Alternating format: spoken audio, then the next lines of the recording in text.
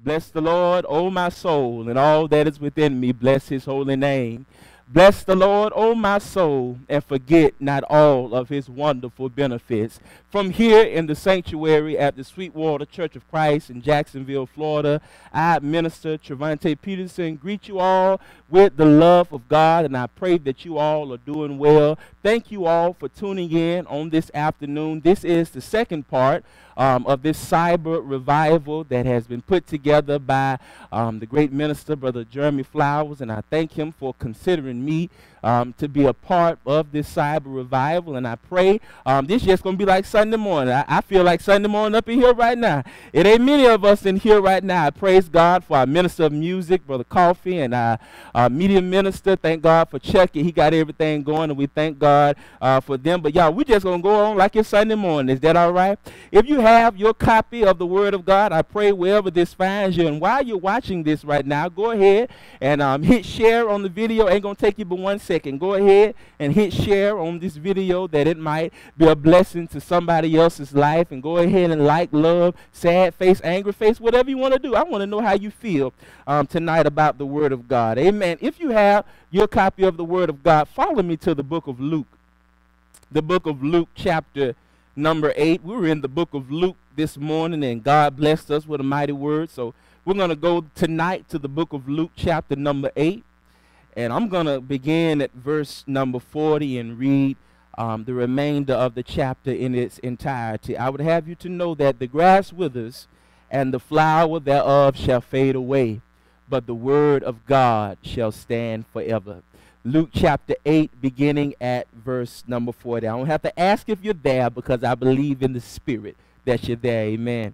Amen. Luke chapter 8, beginning at verse number 40. And the Bible reads, and it came to pass that when Jesus was returned, the people gladly received him, for they were all waiting for him.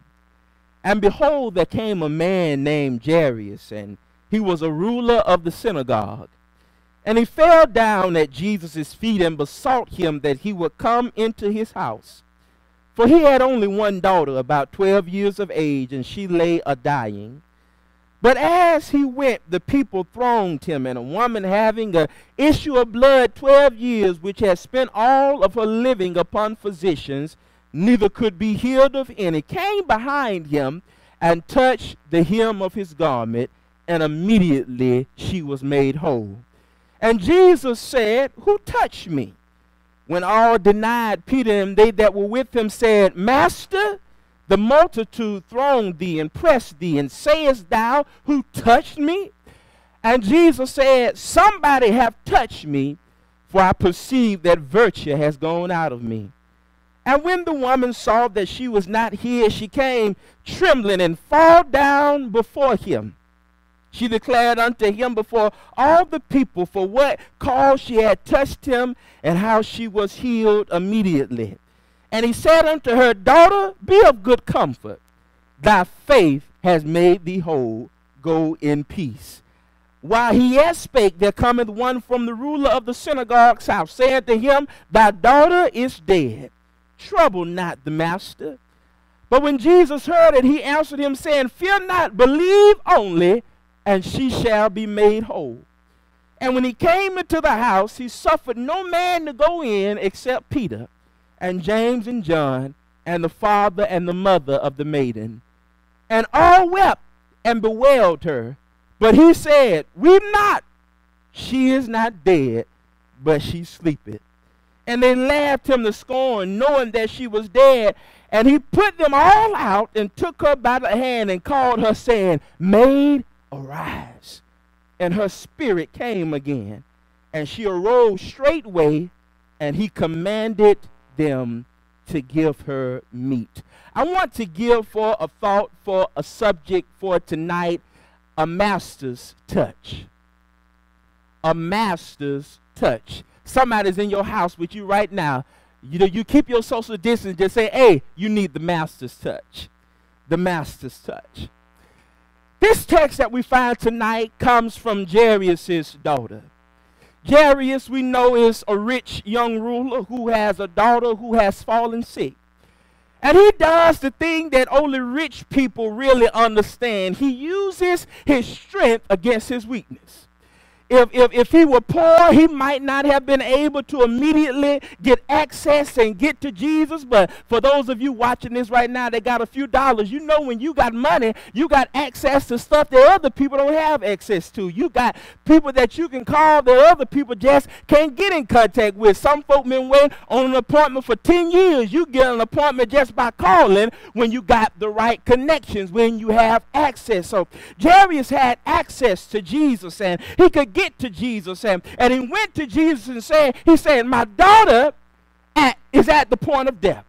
And I need you to do something about it. You, you say you're Lord. You say you are a healer. You're a master. I need you to come along and do something about my problem. Nothing makes you feel weak like when you're hurting and there's nothing that you can do about it. I feel for parents that one of the greatest hurts that you can feel is to see your child sick or your child suffering and knowing that there's nothing that you can do about it. There's nothing that you can do to relieve the pain, knowing that you would give anything in this world to take the place so they would not have to experience the pain. And a, a, a house call from the master is a pretty big deal. He wants Jesus to come into his house. I, I, I don't don't know what kind of house cleaning you would have to do in order for Jesus to come in your house. But I would, I would imagine you would have to clean that joker from top to bottom. If Jesus, a man, you take out the best china, you take that plastic off of your, your furniture, you put out the best wine, you put out the best everything, if you knew that Jesus was coming by your house. Well, you ought to be preparing if Jesus lives on the inside of you anyway. But and, and, and he's coming over, there's this woman, and this woman has a problem. This woman, she has a dilemma. And, and, and she has come to the point in her life where she has run out of options. Somebody watching this video right now knows what it feels like to run out of options, to have done everything that you can do, to have tried everything that you have tried, to have pulled every resource that you can pull, and you get to a a place to where you feel like you just can't do anything else. But anyway, Jesus is coming to the house. And while he's coming over, this woman, this woman, she has a situation where she's run out of options and she has run out of options. She has gotten desperate. Her last attempt she comes to Jesus. Now, now I got a few things that I've jotted down that are, are, are, are, similar between the woman and the girl because on one hand, you got this, this little bitty girl, this little girl, 12 years old, laying here. I mean, the little girl is sick and she's 12 years old, she's dead, so they think there's one little girl, that there's one reality that's gone down the drain. On the other hand, you got this woman that's been sick for 12 long years. And, and, and, this girl has an appointment with the master. And, and this woman ain't got no appointment with the master. And so, so both of them got an issue going on. Both of them got a problem going on. Both of them got a crisis going on. And I don't care who you are. I don't care how spiritual you are. I don't care how much you read your Bible. There are certain conditions and certain situations that come into your life that hurt you so bad that they make you isolate yourself. This woman wasn't going out.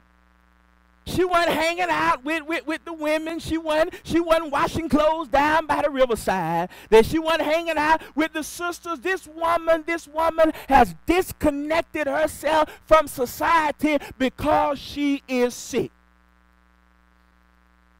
when hanging around. You don't believe me? You don't believe what I'm saying? Go in a hospital.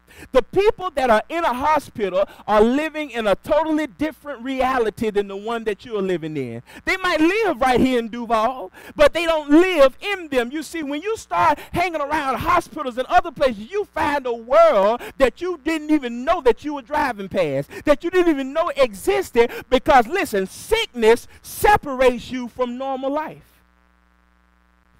Please hear what I'm saying because I'm saying something while I'm saying something. Whenever there's something sick on the inside of you, you will always separate yourself from other people because of your illness.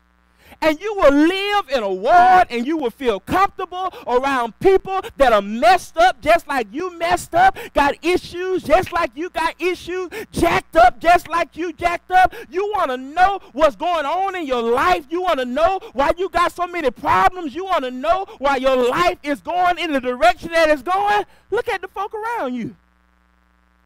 Look at the people you're hanging out with.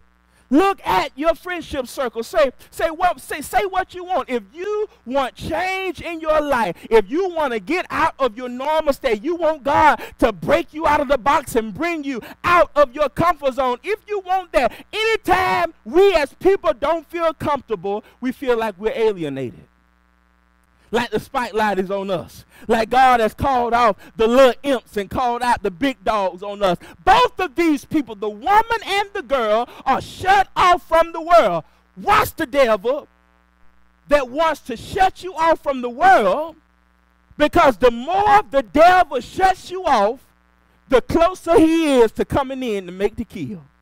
Both of them were beyond physical help, the help of those that were around them. They couldn't even give a command, somebody help me. And Jairus' daughter, if her father could have done it, I'm sure he would have commanded her to be healed. But he could not do it. Life will always present you with something before you that leaves you vulnerable, that throws you off that makes you realize you're not as strong as you thought you was, that, that makes you realize that you're not built of what you thought that you were built of. I don't care how strong you are spiritually. I don't care how much you read your Bible. I don't care how much you meditate. You can sit in the corner all day and say, Nam your heart and get your, Nam your heart and get your, whatever you want to say. I don't care how strong you are. There are certain situations that will come at you in this life that will knock the wind out of you and leave you saying, Lord, what happened? No matter what your advantages are in life, you will always be tested. And what I love about God, He tests us in an area of our life that we cannot fix, that we cannot do anything about it by ourselves. And some people, sad but true, would rather give up on it all other than to reach out and ask somebody for help because they feel like by reaching out and asking somebody for, for help, they're showing their vulnerability and they're showing people that they're not as strong as they thought they were, and they don't know everything that they thought they knew. Both of these women were what you would call untouchable. You see, the law said that, you know, our master, he was a priest, and the law says that Jesus, as a priest, he could not touch a bleeding woman. That was the law. He could not do that. He could not come in contact with a bleeding woman. It would have made him unclean. The woman herself was declared unclean. She was untouchable. Nobody touched her. He couldn't touch the dead girl. He was a priest. Nobody touched this woman. The woman decided, whatever I have to do, whatever it takes, I'm all in. If I got to crawl, guess what, man? I'm all in. If I got to walk by myself, guess what? I'm all in. Lord, I don't need your autograph. I ain't trying to touch your hand. I ain't trying to get no selfie. I ain't trying to be all up in your face. If I could but touch the hem of his garment, I will be made whole. You can sit and look pitiful if you want to. You can either sit there and lay down and die in your own blood and in your own mess, or you can say, Lord, whatever it takes, however long it takes, Lord, I'm riding with you. And as long Jesus drive, man, I'm in for the ride. I'm in for the ride. If you want it bad enough, you're going to have to step out of comfortability you're going to have to get out of it. He said, Go thy way, daughter. Thy faith has made thee whole. It, it, it wasn't what I did that made you whole, it was what you did that made you whole. Y'all, y'all don't want to hear what I'm saying because you've been waiting on God to do something, but God, listen, is waiting on you to do something. I don't I don't know who I'm talking to. You're watching this out there in cyber world, but whatever it takes, wherever you are, just go ahead and bust a move right there by yourself. It's not going to change until you change. It's not going to get better until you make a move. Stop waiting on something to happen. Ain't nothing going to happen until you get out of your stupor, until you crawl up out of your circumstances and say, Lord, whatever it takes, I'm all in. Now, now, now, now, now, the reason I wanted to preach about this little girl tonight, the reason I wanted to talk about this situation tonight is because this little girl, to me, is the superstar of the text. She's the star of the text. I told I, this is what I, I told you what was similar about them and what I like about them. Let me tell you what's different. Whatever's wrong with her is so bad that she stopped reaching out for help. There comes a place in your life where things get so bad that you stop trying. I don't know who I'm talking to right now, but you're in a predicament right now in your life where you feel like giving up, you feel like throwing in a tie, you feel like it ain't worth it. I might as well just give up, go ahead and lay down right here. But can I tell you something that will man puts a period on your situation? God can put a comma and say that there is more to come after this. Eyes have not seen, ears have not heard, neither has it entered into the heart of man the things that God has prepared for them that love him. If you love him tonight, God got something in store for you. He got something in store for you. Jesus, Jesus came to the girl's house. And he put everybody, he put everybody out the room. Let, let, let me tell you what's different. What, what, as I said, whatever's wrong with her, this little girl has stopped asking for help. She stopped reaching out. You know, you know, it's, it's, it's, a, it's a bad day when you're so hungry that you stop asking for food. When you're so broke that you stop asking for alms. That's a bad day. That's a sad day. You, you, you, she, you're out because what, what, whatever's broken is happening here. Some of us right now, we reach out. We don't reach out because we feel like we're too good to reach out. But let me tell you, certain situations will hit you in this life that you're going to have to reach out. And I'm not talking about reaching out and asking, reach out and help somebody that's going through a similar predicament in their life. Jesus came to the girl's house and he put everybody outside. Y'all get out. Y'all get out the room. Can, can I warn somebody that, that need to know this tonight? You need to get some of them people out the room with you I ain't, I, I ain't trying to be no, I ain't trying to be messy. I ain't trying to stir that up. Well, yeah, I am. I'm trying to stir some up. I'm trying to get some started. You need to get some of those people out of the room with you. Get some of those people out of your life because the very people that you are holding on to, the very people that you love, the very people that you feel like you can't do anything without, that you can't get along without them, they are the very ones that are keeping you from being all of who God wants you to be. And and watch when you let them go how much peace and serenity and tranquility you will have in your life when you learn how to simply let them go. When you simply learn how to let them go. There, there are some of you watching right now, and I would have you to know you can't see him, but Jesus is in your house right now. He walking in the kitchen right now, fixing him a plate, getting something to drink out the fridge. He's in your house right now. Jesus is right there, but you can't reach him because you've lost your ability to reach out. Preach it what you mean. You, you, you, can, you, can, you, can, you, you can stand, but you can't reach out because we got so much brokenness on the inside of us but instead of us coming to God with our brokenness and with our shamefulness and with our pitifulness, what we want to come to do is come to God and we want to dress it up and we want to act like we all of this and we all of that with God. But let me tell y'all, I've gotten to a point in my relationship with God, but I just come to God and I said, Father, here I am. This is what it is. This is what is going on. Lord, I can't do anything about it. Lord, I'm trusting you. It's in your hand. I'm depending on you. Lord, do something about it. Jesus comes to the girl's house and some of you tonight may be in a situation right now where it feels like everybody's just been removed from your life. Can I, can I tell you that's good news? That maybe God is removing certain people out of your life so he can finally give you the master's touch. The master's touch.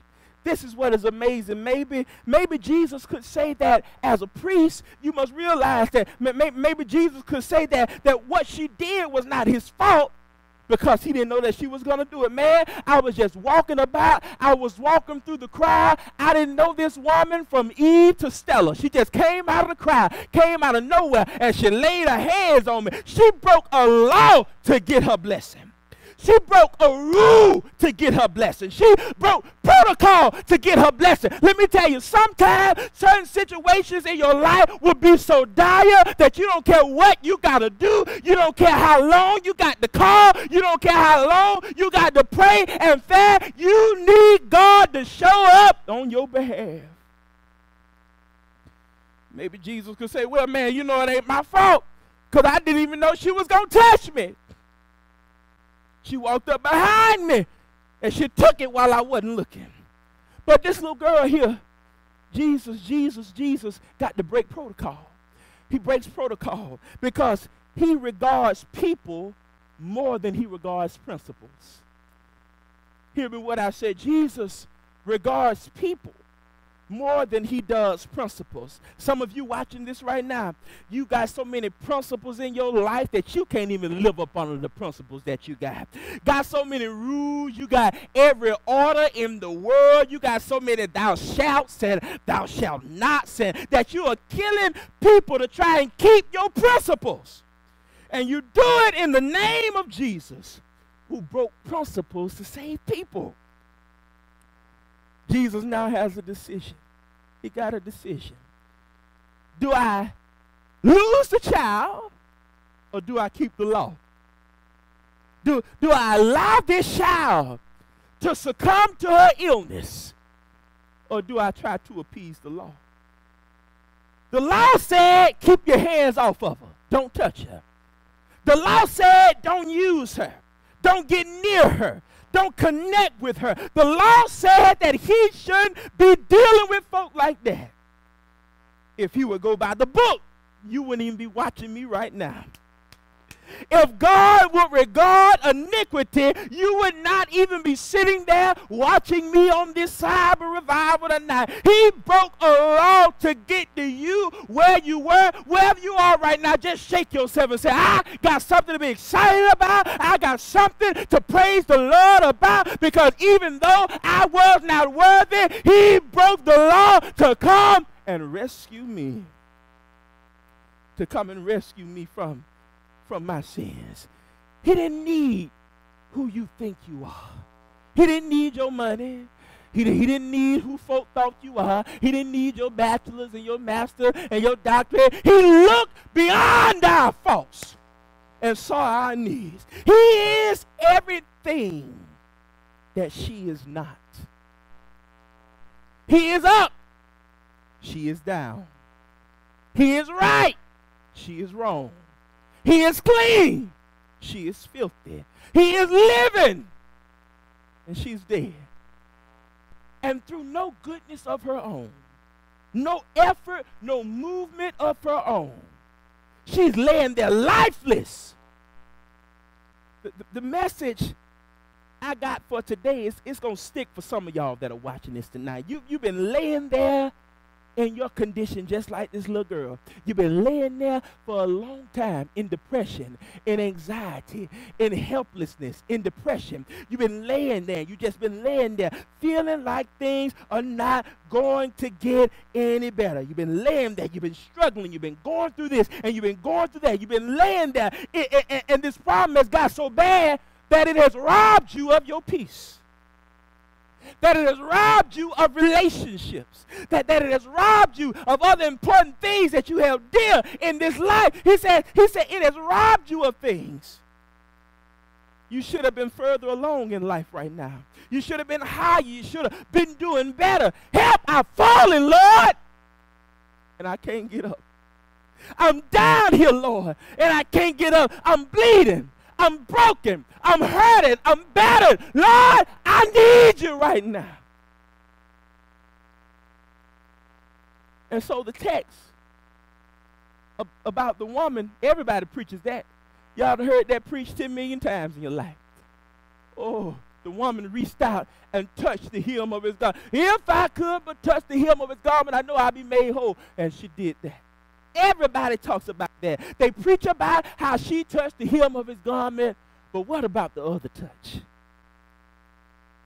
They talk about how she reached out, she touched the hem of his garment, and she was made whole. But what about the other touch? Preach about the woman who touched Jesus. But what about the Jesus that touched the woman?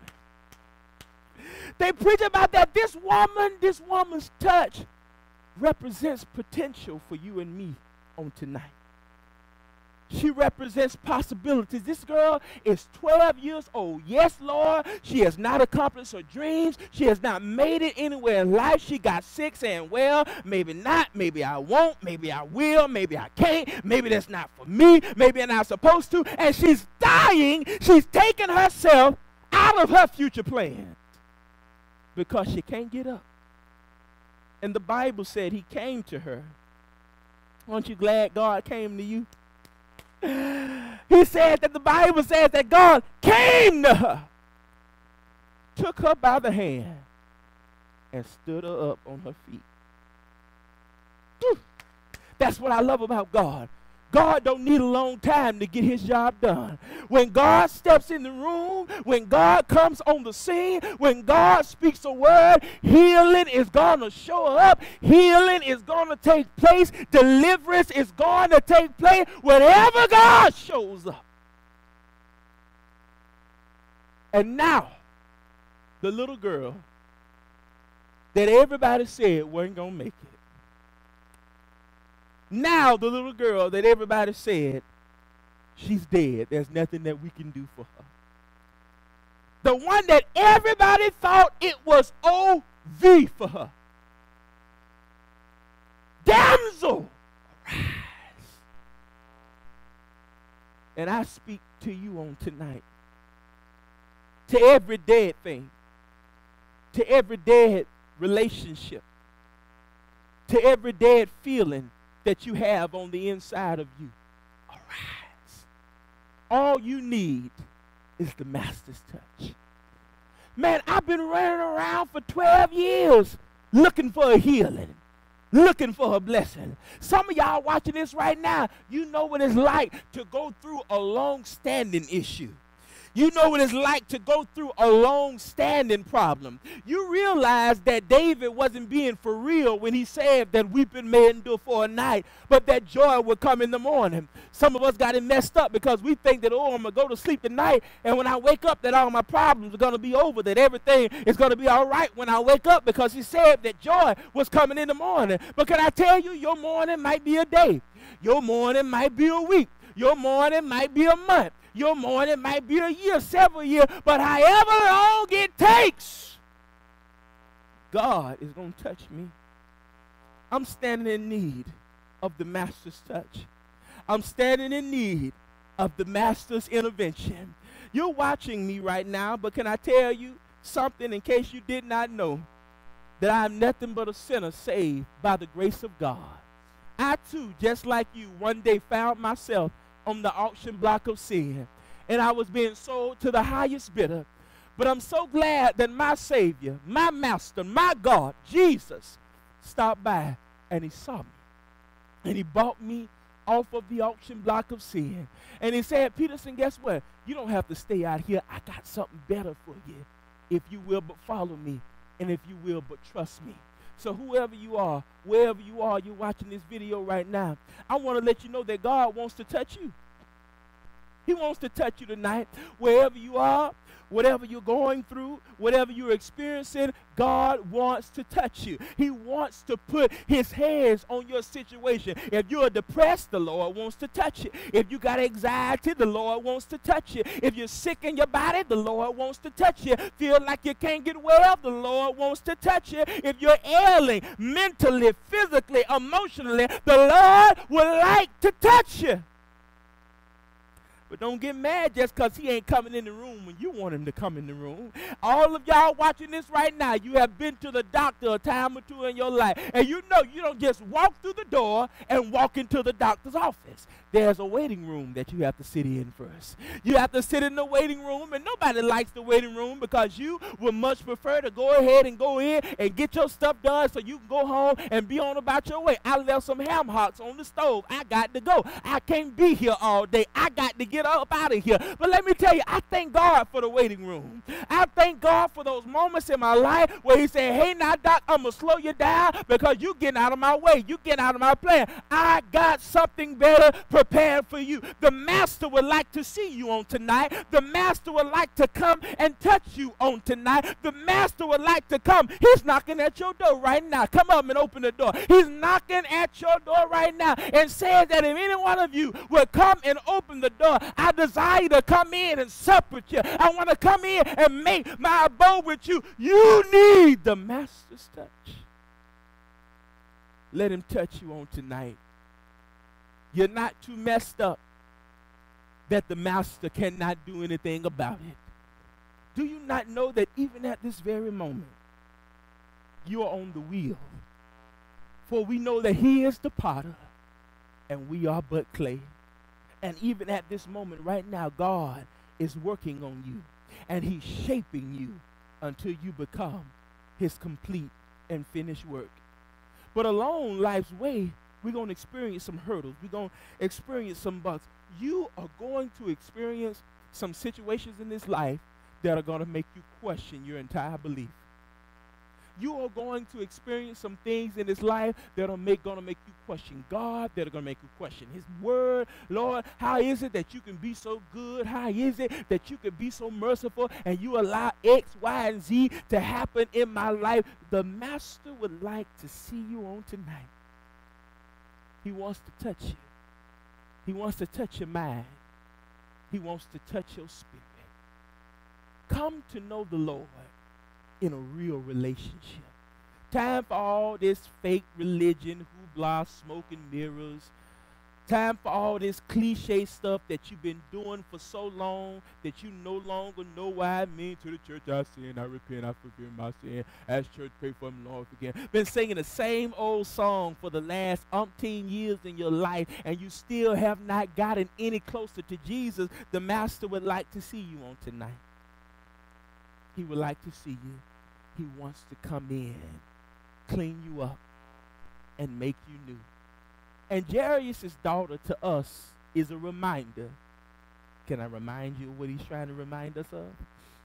It is no secret what God can do. What he done for others, he's just good enough to do the same thing for you. So I don't know about you tonight, but I trust him. I'm depending on him. I'm leaning on him. I've given God my all. I'm all in with God. I've given him my everything. I ain't got no cards up my sleeve. I ain't got nothing hid up the table. I have given everything to God because I need the master in my life. I need him. I can't make it a minute, an hour, a second. I can't take a step, can't go a day without him. I need him in my life. And even as I walk right now, the Lord is ordering my steps. He's guiding my mind. He's guiding my life. Because when you're in the master's hands, this ain't like Allstate, man you in some really good hands. Trust him. Trust him tonight for your salvation. Even where you are right now, the Lord would like to touch you. He would like to touch you. He wants to come in and make the difference in your life. But what I love about God is that he knocks. He doesn't barge in. He knocks, meaning that you have to make the decision whether or not you're going to open the door. Y'all know how we do when Jehovah's Witness come to the door. Well, we'll go right there to the window, look out the shade. The folks see us looking out the shade, and we still ain't home. Somebody else come to your house and knocking. You don't want to speak. You don't want to have conversation. You know how to get rid of them. There's a knock at your door right now, and you want to answer this knock. Because once Jesus comes into your life, he'll make a difference that you never what you thought couldn't happen is something minor that can be done in the hands of God. In your hands, it might not work. In your hands, you might not get there, but in the master's hands, you're going to be all right. I thank you for tuning in tonight. I thank you for watching this broadcast. And wherever you are, whoever you are, whatever station, whatever walk of life you come from, I know a man that would like to see you on tonight, and his name is Jesus. Would you would like to know him? I would welcome you reach out, inbox us here at the Sweetwater Church of Christ. You can call us, you can reach out, you can message us. We want you to know Jesus in the pardon of your sin. Because I don't want to go to heaven by myself. I want you to be there with me.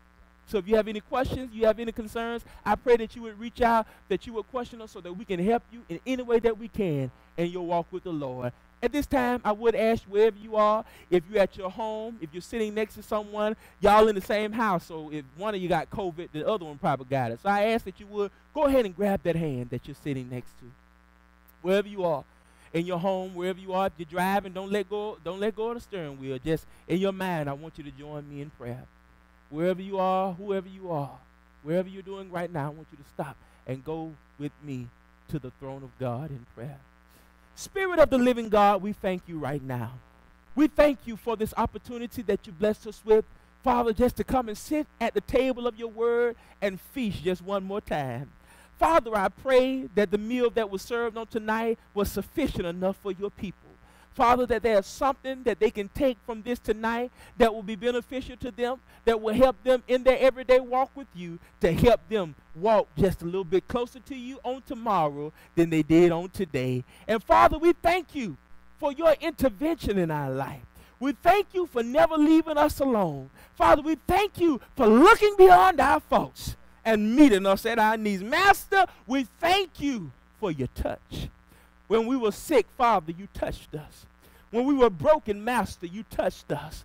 When we were trodden down, distressed, dejected, and depressed, Lord, you touched us. And Lord, we need your touch on tonight. Touch us, Master, as only you can. And as a result of it, we'll give you the praise, we'll give you the glory, and we'll give you the honor as a result of it. In the name of Jesus, we pray. Somebody, wherever you are, shout glory and amen. We thank you on tonight. And if you're ever in our area in Duval, Jacksonville, Florida, come by Sweetwater Church of Christ and visit us 7009 Wilson Boulevard here where the gospel is preached and the water is very sweet. God bless you. In this so sinful world, my time is running out, and the devil won't quit. He's trying to blind my eyes to the light of my life, but something is sustaining me deep down within my soul. God's word is in control, and I know it won't be long till He comes and takes me home. I gotta get ready for that day.